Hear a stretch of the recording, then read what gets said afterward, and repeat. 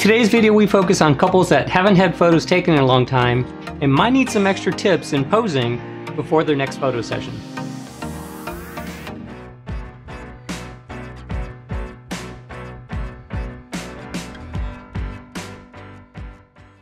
Hi, what's up? It's John Cook with Real Epic Clicks. And on this channel, we help couples build strong, meaningful relationships through your photography and tutorials just like this one. So if you're new here, consider subscribing. But seriously, John, why do I always look terrible on camera?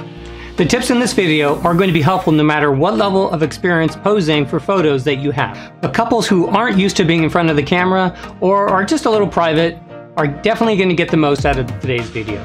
All right, tip number one, and that's posing together in the V shape.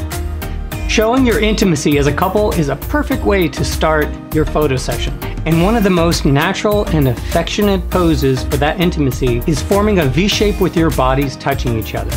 Tip number two for posing couples is sitting on the edge. So here's a serious question for you. Do you remember sitting on the edge of your seat when you first started your relationship together? Or maybe you sit up straight so that you could look your best and impress. Well, that's tip number two. If you want to hide those small imperfections we all have while being even closer to your partner, then sit on the edge of your seat together.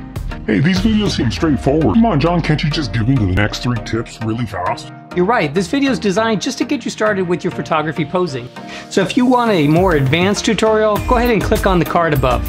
Alright, before we move on, if you're enjoying this video, please take a second and smash that like button and subscribe.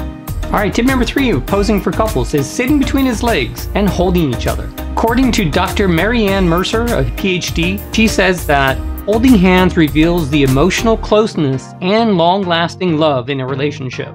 So photos that have you sitting close together not only look amazing, they're also a great way to show your love and trust for each other.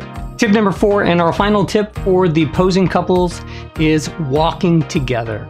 Did you get butterflies the first time your hands touched each other?